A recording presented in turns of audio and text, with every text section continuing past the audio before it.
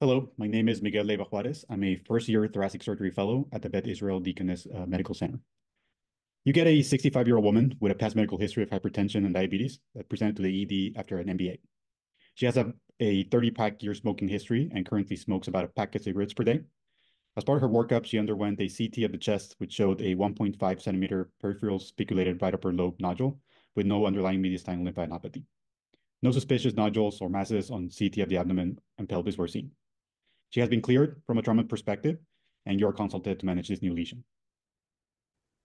Okay, so let's start by defining what a solitary pulmonary nodule is.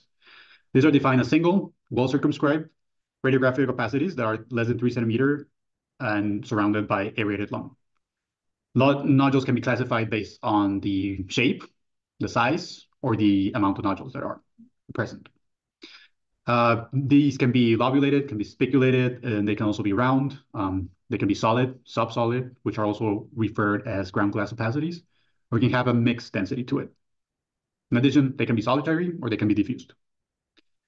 When we face a patient with a newly diagnosed uh, lung nodule, the main thing to establish is what is the pretest probability for lung cancer here? Or what, based on what I'm seeing in the CAT scan and what I'm seeing in terms of uh, risk factor for the patient, what is the probability that this is actually a malignant nodule?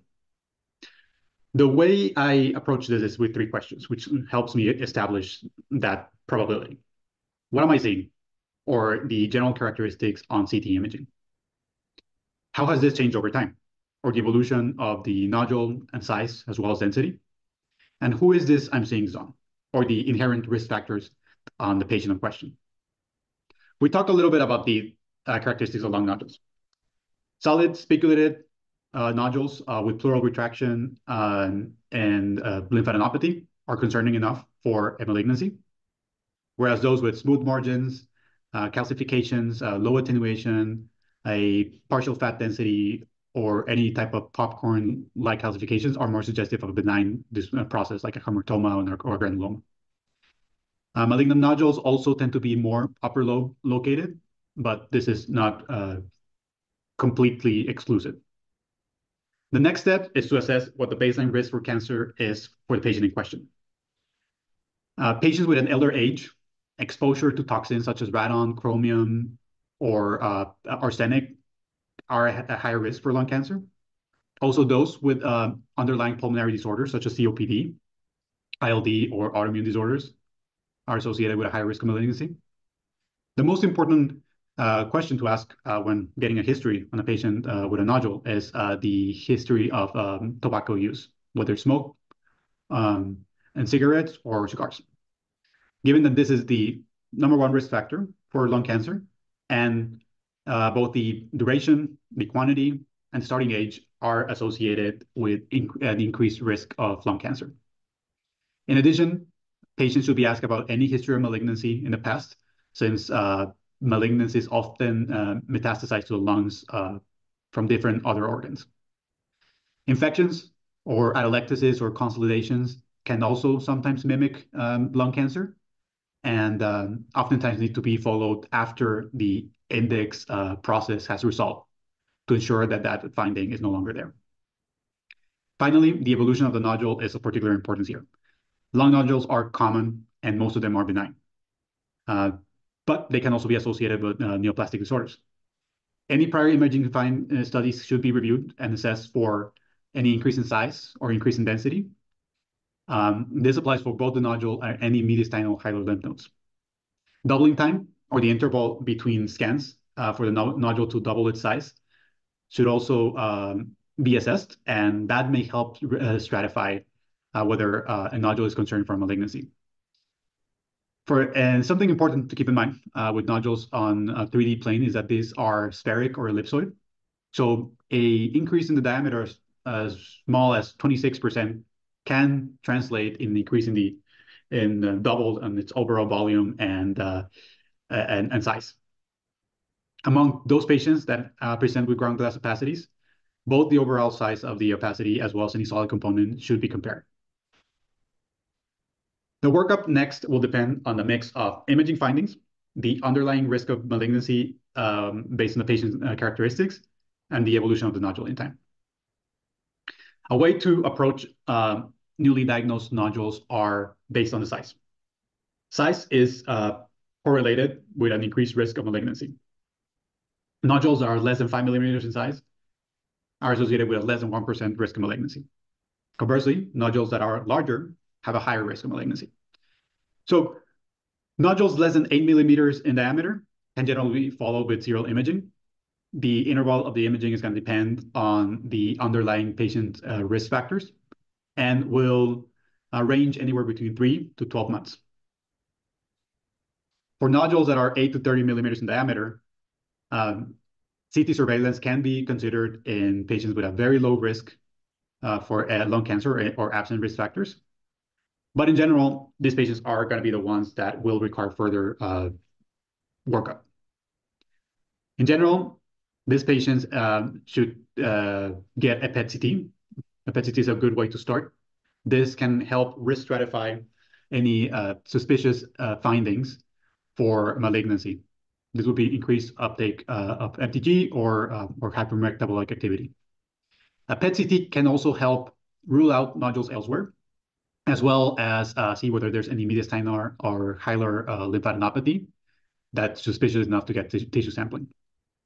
However, patients that are very high risk for lung cancer, let's say someone that has a high pack year uh, smoking history or or has exposure to toxins and an elder age, and the nodule has very uh, suspicious findings such as spiculated and uh, pleural retraction, those patients should undergo uh, tissue sampling, especially if um, getting a PET CT will delay the diagnosis.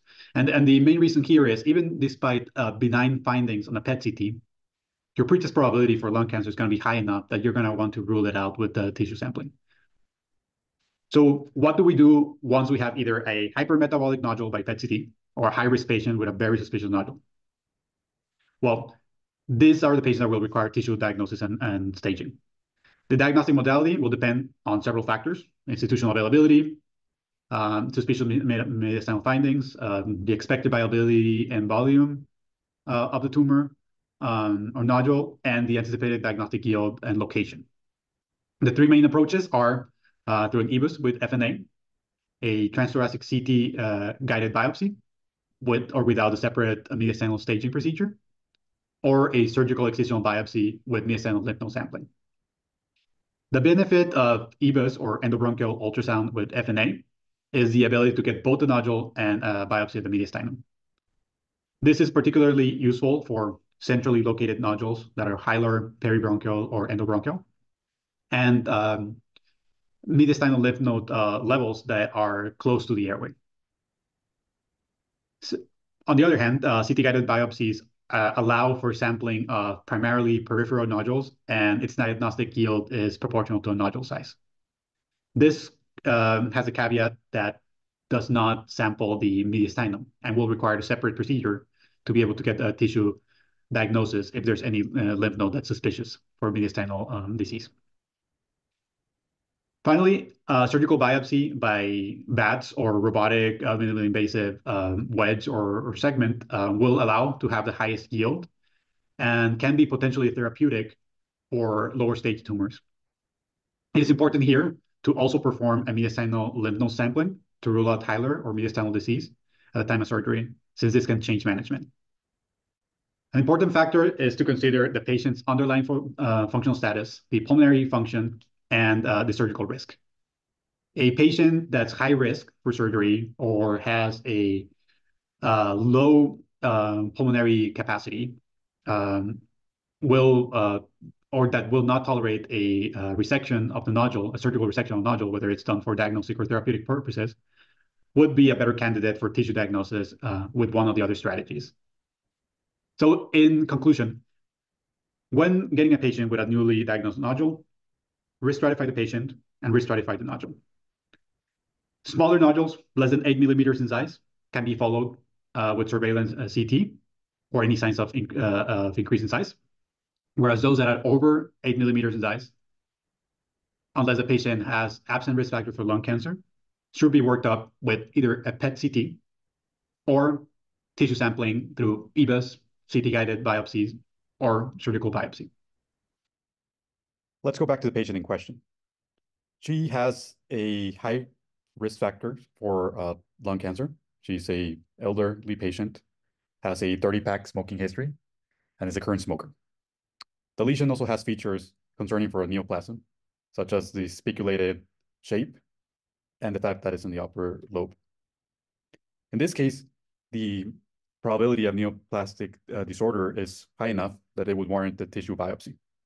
There are no underlying mediastinal lymphadenopathy on CAT scan, so a PET CT wouldn't necessarily change management here.